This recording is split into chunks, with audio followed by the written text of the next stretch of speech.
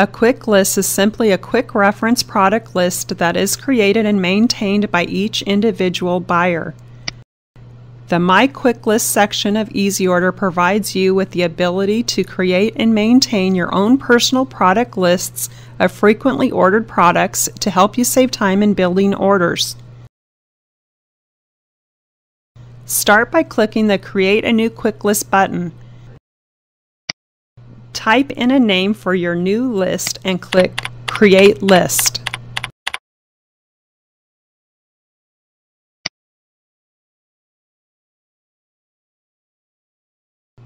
To add products to your new list, go to any page in the catalog or product history that shows a list of products.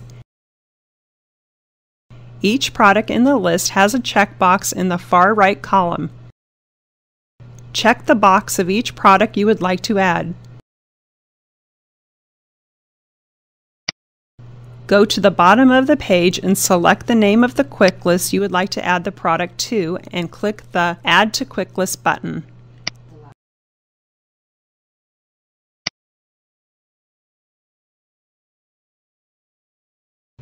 Create as many quick lists as you need and view all of your completed lists from the My Quick Lists page.